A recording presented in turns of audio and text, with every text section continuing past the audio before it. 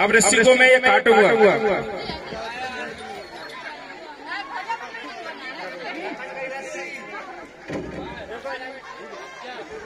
ये रस्सी को मैंने काट दिया है, चार भाग हो गए हैं इसके।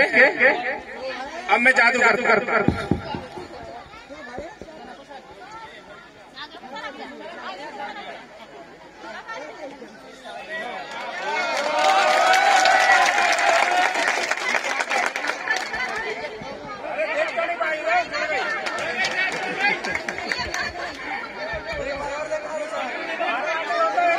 Yeah.